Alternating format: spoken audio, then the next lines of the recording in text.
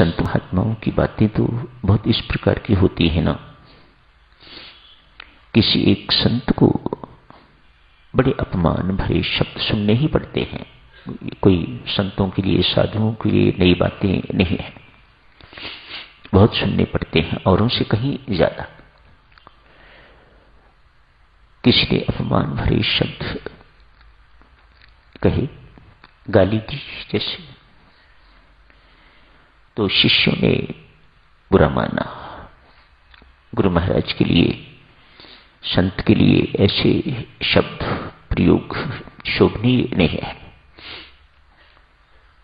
प्रतिक्रिया व्यक्त करनी चाहिए शिष्यों ने तो संत ने रोका। उन्हें समझाया।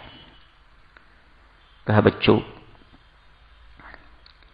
इस व्यक्ति ने यदि मेरी देह की निंदा की है तो देह सबकी निंदनीय ही है। कोई नई बात नहीं की। हम स्वयं को भी देह की निंदा करनी चाहिए। क्यों? ये कुकर्म सारे इसी के माध्यम से होते हैं। देभाव बड़ा खराब भाव है। अविद्या कहा जाता है इसे। तो बच्चों, देह तो निंदनीय है। और अगर इस व्यक्ति ने मेरी आत्मा की निंदा की है तो इसकी आत्मा में और मेरी आत्मा में कोई अंतर नहीं है, वह एक ही है। तो बुरा क्यों मान रहे हो? संत ने समझाया। महर्षि विशिष्ट को सदक्षिणों उनके शिष्यों ने आज कहा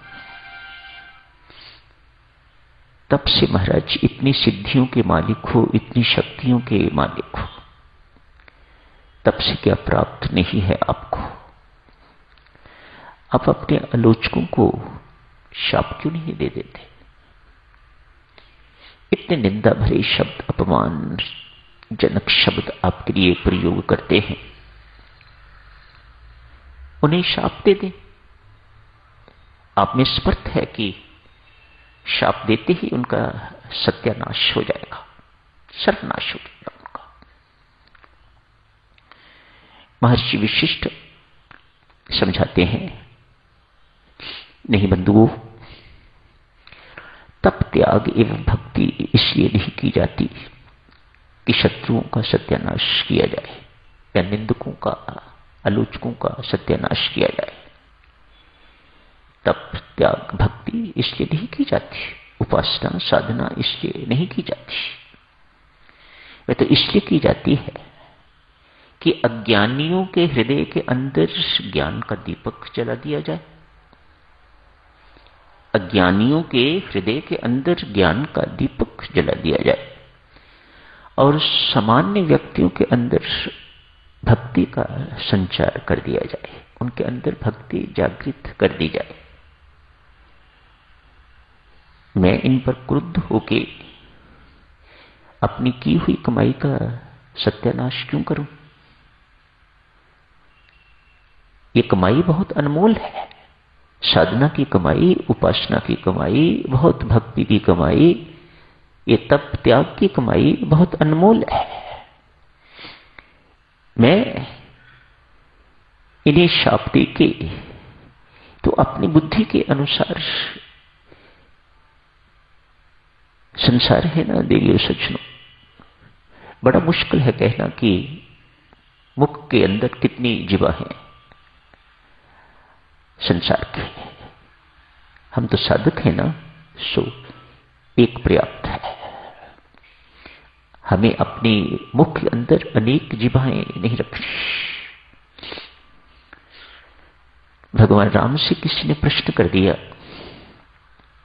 महाराज, दो नासिकाएँ दी, दो आँखें, दो कान। ये जिभा एक क्यों दी है? हंस के मुस्कुरा के कहा, शुक्र है, एक ही दी है। अनेक दी हुई होती तो ना जाने इस जिभा ने क्या कर दिया होता। एक ही पर्याप्त है। जिनको गंदी आदतें हैं देवी सज्जनों दूसरों के घरों में आग लगाने की। इस जीवा ने न जाने कितने घरों को जला के तो राख कर दिया। आप विश्वास नहीं कर सकोगे, लेकिन ये सत्य है। जिनकी ये आदत है। आगे बढ़ते कटु शब्द। एक साधक के लिए साधक जहर समझिएगा, अपने लिए भी। और औरों को भी वह एक जहर का ही टीका लगाता है, जिनकी वाणी में कटता है। कड़वाहट है। आप जितना मर्ज़ी रोको। निकलता तो वही है जो भीतर है। कितना छुपाओगे? अंततः वही निकलता है। जो आपके भीतर है। कड़वे बोलने वालों को, विषैले बोलने वालों को यह समझ लेना चाहिए कि अंदर विष भरा पड़ा है। अंदर कटुता भरी पड़ी है। आज स्वामी जी महाराज ने जो शब्द लिखे हैं, सदा स्मरणीय, कभी ना भूलिएगा। घाव तीर तलवार के पुराते हैं तत्काल। स्वामी जी महाराज के शब्द देखो, कितने अनुभवी शब्द हैं।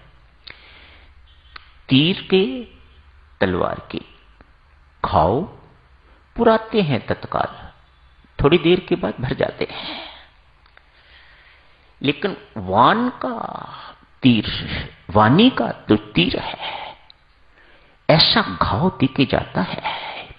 पीड़ा दे सबका। स्वामी जी महाराज ने कहा, घाव तो दिखाई नहीं देता। पीड़ा भी दिखाई नहीं देती, लेकिन उसका अनुभव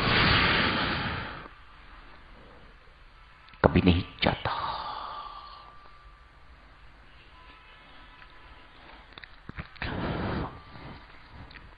इस कट्टा से साधक ज़रूर बचना चाहिए। आज चर्चा शुरू करते हैं। कल जारी रखेंगे इस चर्चा को। बड़ा गहरा रोग अपने अंदर और बड़ी गहरी मार करता है दूसरे के अंदर। जाति पहचानी महिला की बात करते हैं। द्रौपदी की। महाभारत के युद्ध का एक प्रमुख कारण। राजसूयक ऐसा मंडप बनाया। पांडवों ने जहाँ थल है वहाँ जल दिखे। जहाँ जल है वहाँ थल दिखे। ऐसा शानदार सब कुछ बनाया। मानो व्यक्ति चल रहा है तो उसे लगता है कि जल है, लेकिन जल है नहीं, सामान्य धरती है। आगे चल के देखता है तो उसे दिखाई देता है कि ये भूमि है, लेकिन है जल। दुर्योधन आ गए हैं। आमंत्रित है। आ गए हैं। आपको इन सब बातों का पता है, सिर्फ़ याद दिला रहा हूँ आपको। चलते चलते आगे बढ़ते जा रहे हैं। जहाँ जल नहीं था, धरती ही थी। अपने कपड़े थोड़े से ऊपर उठा लिए, उन्हें जल दिखाई दिया। आगे जाके ऐसा ही विपरीत दिखाई दिया। जहाँ जल था, वहाँ कपड़े उठाए, नहीं तो भीग द्रौपदी और भीम दोनों ही इस दृश्य को देख के इतना ही कहा ना, आखिर है तो अंधे की औलाद ही ना। बस। अब आप सॉरी कहो। अब आप अपने शब्द वापस लो। अब आप क्षमा मांगो। जो घाव आपने कर दिया सामान्य व्यक्ति तो खासकर दुर्योधन जैसा व्यक्ति तो उसे कभी भूल नहीं पाएगा। और उसने भूला नहीं। वहीं पर मन में ठान ली, महाभारत का युद्ध होके रहेगा। एक मामूली सी बात है ना, कोई साधक को तो ऐसा नहीं होना चाहिए, लेकिन दुर्योधन साधक नहीं है। दुर्योधन साधक होता तो ये नौबत शायद ना आती है। फिर क्या हो गया? गलत तो नहीं कहा उसने। द्रौपदी ने, भीम ने गलत नहीं कहा। बाप है अंधा। लेकिन ये सब बातें कहने की तो नहीं होती। और कहनी भी चाहिए तो बड़े ढंग से कहनी होती हैं। बेढंगी तो नहीं कहनी चाहिए। तो साधक सदक्षण समय हो गया है। कल इस चर्चा को और आगे जारी रखेंगे। धन्यवाद।